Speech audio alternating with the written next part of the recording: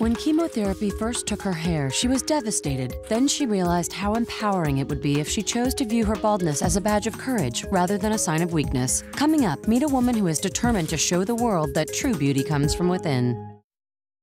Sharon Blynn was diagnosed with ovarian cancer at 28 and soon lost her hair to chemotherapy. At first, she was demoralized, but then she realized that she hadn't changed, only her perception of herself had. So she began to work with the fashion industry to dispel the stigma of hair loss. As an actress, model, and advocate, she seeks to redefine our ideal of female beauty to include women who embrace their baldness. In honor of National Ovarian Cancer Awareness Month, Lifetime applauds Sharon Blynn for empowering survivors to find their inner beauty. Find out more at mylifetime.com. Brought to you by Marshalls. Never pay full price for fabulous.